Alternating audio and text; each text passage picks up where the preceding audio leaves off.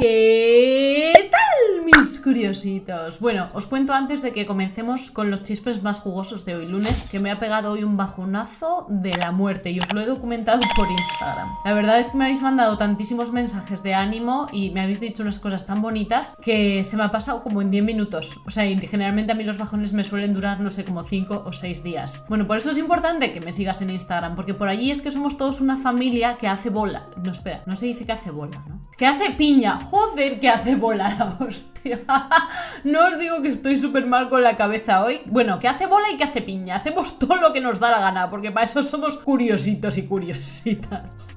Ay, en serio, qué vergüenza, que hacemos bola. Bueno, me habéis entendido perfectamente. Os dejo por aquí mi usuario de Instagram para que me sigáis. Por allí os cuento la mayor parte de mi vida personal. Aquí estamos un poco más en el ámbito profesional, pero por allí es todo un poquito más distendido. También te dejo mi segundo canal, Curioseando sin censura, para que te suscribas. Ya somos más de 110.000 curiositos sin censura. Vamos a ver qué tenemos hoy preparado en este noticiero porque las noticias son todas sumamente importantes. He decidido hablaros en primer lugar de Sain Malik, de Gigi Hadid y de Yolanda Hadid, porque obviamente ahora están en boca de todos después de estas acusaciones de Yolanda en contra de Sain, diciendo que la había... Han pasado los días y van saliendo más y más noticias, van saliendo más y más datos y ahora te voy a poder contar exactamente qué es lo que sucedió, cuándo sucedió y cuáles están siendo las consecuencias. Bueno, todo esto que estoy a punto de relatarte, es decir, todo el problema gordo que acaba de salir ahora a la luz, sucedió el mes pasado, en septiembre, bueno, estamos en noviembre, pero bueno, en la casa de Pensilvania que tiene Gigi Hadid. Recuerdo perfectamente que la semana pasada cuando yo di la noticia de lo que estaba sucediendo aquí en Curioseando en el noticiero, hubo varias curiositas y curiositos que me escribisteis mensajes directos en Instagram diciéndome, Mar, no sé si lo sabes, pero Sain Malik es de ascendencia árabe. Y es muy probable que precisamente por tener sangre árabe que se esté comportando de una manera un tanto machista. Me sorprendió muchísimo lo que me dijisteis. En primer lugar, obviamente, porque no todos los árabes son así, pero sí que es cierto que yo no sabía que Sain Malik tenía ascendencia árabe y puede ser que ciertamente él sea una de esas personas que piensan que pueden controlar a las mujeres a su gusto. Con buena familia ha sido a dar, macho, ya te lo voy diciendo. Bueno, han salido informes judiciales y varios de noticias se han hecho con la información. Te voy a estar leyendo todos los improperios que Sain Malik le dedicó a Yolanda Hadid. Y es precisamente por esto que Yolanda interpuso una demanda. Si esto es verdaderamente cierto, que al parecer lo es, porque ya han dado el veredicto de culpable para Sain Malik y él lo ha aceptado, entiendo perfectamente que Yolanda haya interpuesto una denuncia y de hecho la aplaudo por ello. Estábamos todos pensando que esta señora podía haber sido la mentirosa o la que estaba metiendo la pata, pero desde luego si ha vivido esto, bastante poco ha hecho. Le dijo Sain a Yolanda, eres una holandesa. Le advirtió que se mantuviera alejada de su nieta y también le dijo, el marido de mi Luego se refirió a Gigi Hadid, a la que es la madre de su hija, y le dijo, ponte unas bolas y defiende a tu pareja de tu madre en mi casa. Incluso le dijo al hombre de seguridad, saca mi madre casa, refiriéndose a Yolanda. Como acabas de darte cuenta, apenas habrás podido escuchar eh, estas palabras que le estaba dedicando Sain a Yolanda y es precisamente porque son tan fuertes que no puedo reproducirlas en público. Así que ahora ha sido acusado de cuatro cargos de y no ha impugnado la decisión del juez, lo cual significa que no está admitiendo su culpabilidad, pero que sí acepta el castigo. Le han dado 90 días de libertad condicional por cada cargo, como son cuatro, en total 360 días. Debe ir a clases de manejo de la ira y va a ser evaluado para un programa de Además, no puede tener contacto con Yolanda Hadid y si no rompe las reglas de su libertad condicional, el juez se la eliminaría a los seis meses. Estoy confundida con todo este tema, sinceramente te lo digo. No me gusta en absoluto lo que estoy leyendo, no me gusta saber la verdad. Os digo con todo el corazón que casi hubiera preferido que esto hubiera sido una especie de artimaña de Yolanda Hadid hacia Sain, porque es que es demasiado, demasiado, demasiado grave lo que ha hecho Sain contra la abuela de su hija. Estoy anonadada, o sea, es que no, no, no, no tengo ni siquiera una reacción. Déjame saber abajo en comentarios, curiosita, ¿qué piensas tú ahora al darte cuenta de que Saint Malik verdaderamente era culpable? Porque yo era una de las que decía que todo esto era una artimaña de Yolanda. O sea, estoy se voló mi cabeza. Siguen las consecuencias de los actos de Saint Malik y ahora son sus cuñados los que han dejado de seguirlo en Instagram y además le están mandando algunos mensajes, algunas indirectas. Bella Hadid concretamente publicó el 28 de octubre un críptico mensaje en sus stories que dice lo siguiente: No puedo hacer nada más por ti más que trabajar en mí misma y no puedes hacer nada más por mí que trabajar en ti mismo. Todos los fans han visto en esto una respuesta a la actual drama de su familia. Pero a Bella la ha seguido también Anwar Hadid, el hermano, y ha dejado de seguir también a su cuñado en Instagram. Recuerda que justo cuando pasó todo esto, hace un mes, es cuando Gigi Hadid decidió dejar a Zayn Malik. Y tengo la sensación de que después de una cosa así en medio de ellos, nunca jamás podrán volver a darse una oportunidad, por lo menos en el terreno del amor. Bella también ha hablado de la relación que tiene con su sobrina, con Kai, y ha dicho, quiero estar con el bebé y quiero despertar temprano y estar allí. Nunca supe que podía tener tanta alegría en mi vida. Ella es el regalo más grande. Nuestra familia ha cambiado de la mejor manera. Sé que este no es el único caso que existe en el mundo de que se líe una suegra y un yerno a, a mamporrazos casi, casi, casi. O por lo menos se insultan y todo este tipo de temas tan, tan convulsos. Sé que no son los únicos. Pero parece que cuando vemos estas cosas entre las celebrities da como más pena, ¿no? Es como, Dios mío, podríais tenerlo todo. Podríais ser tan felices y os estáis metiendo en semejantes berenjenales. Me parece demasiado penoso todo y tengo tanta pena por Kai. Han pasado de ser a mis ojos y seguro que a los tuyos también la familia perfecta, un círculo envidiable a mirarlos y decir, ah, ya no confío en nada, ¿sabes? Vamos a animarnos un poquito y hablar de algunos temas menos serios. Después de que hemos dejado ya lo de Sign y Gigi, estas son todas las actualizaciones que hay hasta el momento. Y nos vamos con Kylie Jenner, porque ha pasado el Halloween más de su vida tiene que estar con pujía. Porque el año pasado se estuvo hablando de ella, no sé, como tres meses después de que terminara Halloween, con ese disfraz de cobra que llevó a la fiesta temática del cumpleaños de Kendall Jenner, que siempre coincide ahora por Halloween y ya lo hicieron todo junto, ¿no? Como estaba la pandemia, dijeron, pues hacemos dos fiestas en una. Pues el caso es que el año pasado ella fue la protagonista, ella se llevó todos los titulares, eclipsó al resto de la familia e invitados, incluso a la cumpleañera, y este año se ha quedado la pobre en nada, porque según ha dicho ella misma, está en modo mamá on, pero a full. Este año han pasado el Halloween en casa de Kim Kardashian, lo cual me parece bastante normal porque como tiene la mansión vacía de muebles y de decoración, pues por allí pueden correr los niños sin tirar nada, ¿sabes? Stormy iba de sirenita, Kylie iba de gata, o un intento de gata, y Travis iba de Mike Myers, de Mike Myers, que nunca me sale decir el nombre de este señor, Dios mío, no me gusta. A mí esto del Halloween, tío, la gente que sale por ahí dando terror a los demás, no sé cómo decirte, es algo que, me parece tan ridículo. O sea, ¿por qué? ¿Por qué tiene uno que pasar miedo? No, no lo entiendo. Con lo bonito que es sonreír y estar tranquilo por la calle, pues no, hay que ir a pasar miedo. Pues no lo entiendo. Kylie, por cierto, iba a juego con su mami, con Chris Jenner, iban las dos disfrazadas de gatito y Chris aprovechó para hacerle publicidad a la colaboración de Kim Kardashian con Fendi, porque llevaba uno de esos enteritos así bien pegados, bien pegados, con los que pareces un chorizo mal cargado. Y por favor, curiosita, mira qué rara se ve Chris Jenner con esta peluca. O sea, con el largo del pelo y con el color del pelo, que yo creo que nunca la he visto con otro cabello que no fuera corto y negro. Y es que se ve rarísima. Kylie no fue nada vergonzosa a la hora de mostrar su panza en crecimiento. Llevaba un mono ajustadísimo negro, unas botas de combate y un abrigo largo de cuero. Además agregó unos bigotitos, una nariz, unos labios negros, unas orejas y una cola como de felpilla mala.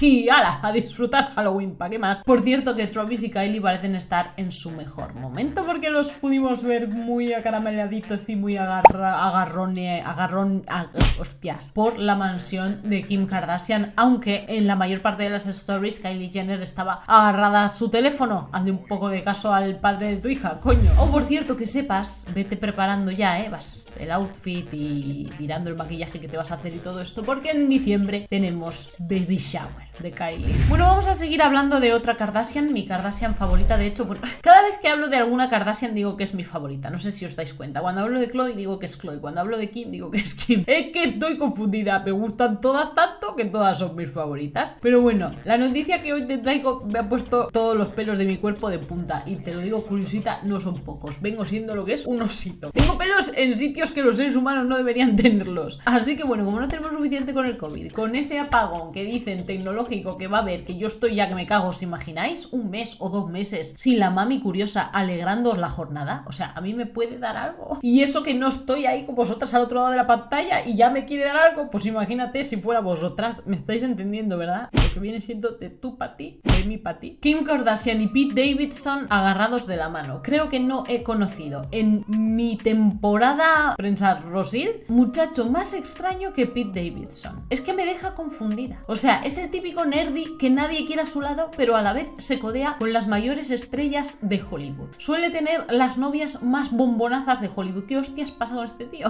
Tiene una sorpresa que nosotras no sabemos entre pata y pata. ¿O qué sucede? Por cierto, que Kim y Pete no es la primera vez que estaban juntos románticamente porque durante la grabación de Saturday Night Live en un sketch que hizo con él cuando fue anfitriona hace tres semanas, compartieron un rápido beso porque estaban interpretando a Yasmin y a Aladdin. Pero ojo porque ellos se conocían ya de antes, ¿eh? De antes de Saturday Night Live. ¿Sabes cómo? Resulta que Machine Gun Kelly, que ya sabéis que junto con Megan Fox ahora tienen el culo juntísimo con Kourtney Kardashian y Travis Barker, pues le presentó a Pete Davidson a Travis Barker. Entonces ya lo metió en el círculo y estaban ya saliendo juntos algunas veces. Así fue como conoció a Kim Kardashian. Entonces luego cuando tuvieron que hacer el sketch en Saturday Night Live, pues había confianza, bro, tú sabes. People tomó fotos exclusivas, que son estas que te estoy mostrando aquí, en las que los pillaron agarrados de la mano cuando iban bajando por la montaña rusa. Ahora, te voy a decir una cosa. A mí estas fotos me las mandó en primicia una curiosita a través de los mensajes directos de Instagram. Y tú dirás, ¿te pasan toda la información los curiositos a través de los mensajes directos? Pues sí, porque yo de allí cojo mucha inspiración para saber lo que vosotros queréis que yo os cuente aquí en los noticieros. ¿Veis? Otra razón para seguirme en Instagram, coño. ¿Quieres convertirte en fuente de curioseando? Sígueme en Instagram. Qué bien quedó el comercial, ¿eh? Pues lo que te estaba diciendo, que yo le contesté a esta curiosita que no se extrañara, mm, porque Kim Kardashian le había agarrado la mano a Pete Davidson en la montaña rusa. Le dije que si yo estuviera montada en una atracción tan peligrosa como esa, le agarraría la mano hasta Offset si estuviera al lado mío, ¿eh? Hasta Offset llegando este gorro que te estoy enseñando, que esto no puede dar más grima. Bueno, pues se la agarraría también, tú imagínate, del miedo que me da. Por eso entiendo que Kim Kardashian se la agarre a Pete Davidson, estoy segura. Pero vamos, es que como si lo estuviera que ya hay alguien en su casa así con cara sospechosa, mirándome, ¿sabes? Así, así, así, pensando, ¿y esta por qué dice que agarrarle la mano a Offset cuando... ¿Sabes por qué? Porque Offset es uno de los tipos que peor me cae del mundo del famoseo, porque es un picha floja, yo creo que peor todavía que Tristan Thompson, o si no peor, ahí ahí andan mm, disputándose el puesto. Por eso te lo digo, no te vayas a ir por otros derroteros, porque la gente últimamente está muy sensible y me están tocando un poco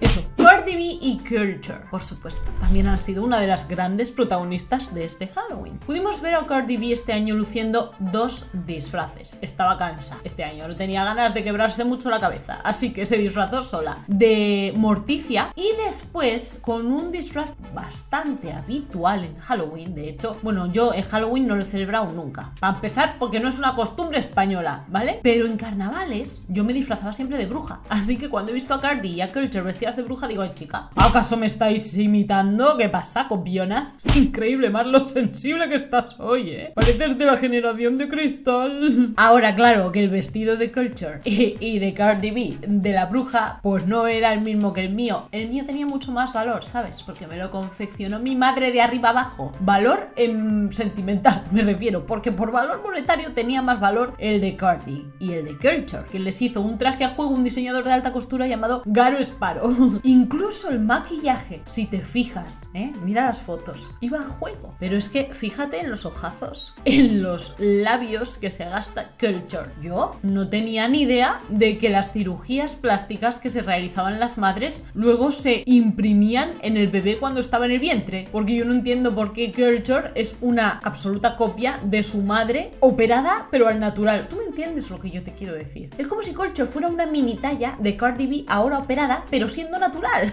Ahora te voy a decir, lo que más me anonada de toda esta situación es Culture posando una y otra vez y sin descanso para una sesión de fotografías que le estaba haciendo, no sé si su padre, Cardi. Postura, postura, postura, postura, postura, postura, postura, postura. O sea, sin cansarse. Es que es impresionante. Lo de los niños hijos de famosos, esto es otro nivel, chaval. A mí me dicen, ponte ahí contra la pared que te voy a hacer unas fotos y yo me pongo así.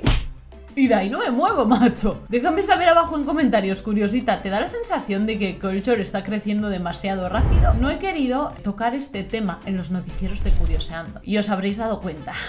Muchísimas personas me habéis pedido que os cuente qué estaba pasando con Alec Baldwin. No he querido tocar este tema porque para mí esto es algo bastante sensible y bastante peliagudo. Obviamente, y gracias a Dios, mejor dicho, no me ha pasado nada parecido. Y voy a tocar madera para que jamás me pase. Pero me duele demasiado el hecho de ver lo que la vida nos tiene preparado. De la nada el destino te da una bofetada que hace que tu cabeza gire 180 grados y ponga tu vida patas arriba del revés y ya nada tenga sentido para ti. He visto un vídeo que han grabado los paparazzi, ¿vale? Haciéndole preguntas a Alec Baldwin y a su esposa y realmente me ha dejado con el corazón desgarrado. El estado que actualmente tiene el actor es terrorífico, o sea, Alec tiene 63 años, pero se ve como un tipo que está a punto de pisar el otro mundo. Está ajado físicamente a más no poder, se le ve que está agotado mental y psicológicamente y yo tengo miedo por él. Después de que los paparazzi lo estuvieran persiguiendo durante horas, iba con Hilaria y con sus hijos en el auto, se paró por voluntad propia, se bajó del auto y les dijo, a ver, vamos a aclarar esto de una maldita vez. ¿Qué es lo que queréis saber? Preguntadme lo que queráis. Por cierto, Hilaria estuvo grabando todo el rato a las paparazzi en su interacción, supongo que por si pasa cualquier cosa para poder presentar pruebas judiciales o grabar los testimonios de su esposo hacia la prensa para que sepa la policía que no está diciendo nada indebido y para que luego si los periodistas se inventan algo, esté ahí el vídeo, la prueba de que él no dijo eso, porque ya sabéis que los paparazzi muchas veces tergiversan las declaraciones de los famosos. La familia se había marchado a refugiarse, bueno, de hecho siguen allí, a Vermont, Manchester, porque es un pueblito donde la gente no está tan metida en toda la vorágine de Hollywood y todo esto, y entonces pensaban que los iban a dejar un poco más tranquilos, ¿no? Viviendo su dolor. Pero los paparazzi, lógicamente, han llegado allí, los han encontrado. Alec ha intentado contestar todo lo que le estaban preguntando los periodistas de la mejor manera posible, pero es que es cierto que él no puede hablar nada acerca de lo que está sucediendo por orden judicial, porque él está colaborando diariamente con las fuerzas policiales para terminar de esclarecer qué fue lo que pasó. Entonces, por mucho que a lo mejor él quisiera desahogarse y contar lo que está sucediendo al público, pues no puede. Entonces, los paparazzi deberían respetar eso y dejar de tirarle de la lengua. Así que al final la propia Hilaria fue la que después de que su esposo diera esas declaraciones acudió a hablar con los paparazzi, quienes se habían desplazado hasta la puerta de su casa, o sea, no tenían suficiente con las declaraciones que les dio en mitad de la nada, en mitad de la carretera, y les dijo, traje a Alec aquí porque tenemos que llorar el fallecimiento de Alina. A Alec le ha sucedido algo realmente traumático y estoy tratando de limitar el trastorno de estrés postraumático. Necesita espacio para que yo me ocupe de él y de su salud mental es algo terrible lo que le pasó. Alex se siente fatal. Bueno, vamos a terminar este noticiero antes de que yo me líe aquí a llorar y se me quede toda la cara roja, porque fijaos qué sombras de ojos llevo hoy, hablando de Caitlyn Jenner, que no sé si os habéis enterado, pero se acaba de meter en Gran Hermano VIP y está soltando unos bombazos que vamos a tener que estar hablando de ella, no sé, hasta que se termine el programa, porque va a hablar de Kanye West, o perdón, de Ye, va a hablar de Donald Trump Trump y va a hablar de lo que pasó en el juicio con OJ Simpson. El programa empieza a emitirse en noviembre, pero han dado un adelanto y en este tráiler han puesto un poco de lo que le cuenta a sus compañeros sobre OJ Simpson. Es que sabemos que a Caitlyn le gusta mucho darle a sin hueso y especialmente le mola cuando tiene público. Lo cuenta absolutamente todo. Las Kardashian Jenner se han enfadado bastantes veces con ella por esto. Entonces, ha dicho que todos en el el clan Kardashian Jenner sabían bien que OJ Simpson había hecho lo que hizo, incluido Robert Kardashian, que es el padre de todas las Kardashian y el abogado que lo defendió. Chris había hablado con Nicole, con la que fue la víctima, una semana antes de lo ocurrido y Nicole le había advertido a Chris que OJ acabaría con ella y con su pareja y que además se iba a salir con la suya porque era quien era. Pero Chris en aquel entonces no le quiso hacer caso, ¿sabes? Y cuando se emitió el veredicto, que lo vio junto al que por aquel entonces era Bruce Jenner por televisión, le dijo, sabes, deberíamos haber escuchado a Nicole, tenía razón desde el principio. Entonces, cuando publicó ese libro, Caitlyn Jenner, después de hacer la transición a mujer, titulado Los secretos de mi vida, Kim Kardashian se enojó demasiado con ella, porque en el libro contó que Robert Kardashian sabía que OJ era culpable y aún así se había ofrecido para salvarlo. En 2003, Bruce Jenner y Robert Kardashian se encontraban en el interior de un auto y Robert se sinceró con él diciéndole, me hubiera gustado si hubieran atrapado a OJ en el primer juicio. Además contó en este libro que Robert se metió en el equipo de defensa de OJ como venganza contra Chris Jenner porque ella ya se había casado con Bruce y para darle en toda la madre, ¿sabes? Yo recuerdo perfectamente cuando pasó todo esto, todavía se estaba filmando Keeping Up with the Kardashians y Kim se enojó demasiado porque Caitlyn le había prometido que no iba a contar nada sobre ella y tampoco sobre sus padres, sobre Robert y sobre Chris y como puedes ver no lo cumplió, así que la llamó mentirosa y malísima persona. Pues no sé si habrá sanado o no la herida entre las Kardashian y Caitlyn Jenner, pero con lo que se viene ahora en Gran Hermano VIP, con todo lo que va a soltar, esta es su estrategia para quedarse en el programa, en el reality show, cuanto más tiempo posible, porque por cada programa ganan una millonada de dinero. Entonces necesita hacerse la interesante para seguir dentro de la casa. Catástrofe total, lo que te digo que el mundo está a punto de explotar mi curiosidad por todas partes. Déjame saber abajo en comentarios qué te parece lo que Caitlyn Jenner está haciendo solo por... Espero que te haya encantado el noticiero de hoy, mi curiosita, que lo hayas disfrutado independientemente de que yo hoy estoy en un modo como bien profundo. Si no quieres perderte el de mañana, suscríbete a Curioseando y activa la campanita de notificaciones. Recuerda suscribirte también a mi canal Curioseando sin censura, te dejo el link abajo en la cajita de información y no te marches sin seguirme en Instagram. Yo te mando un suculento besote donde más te guste para que pienses mucho en mí. Hasta el próximo día. ¡Chao!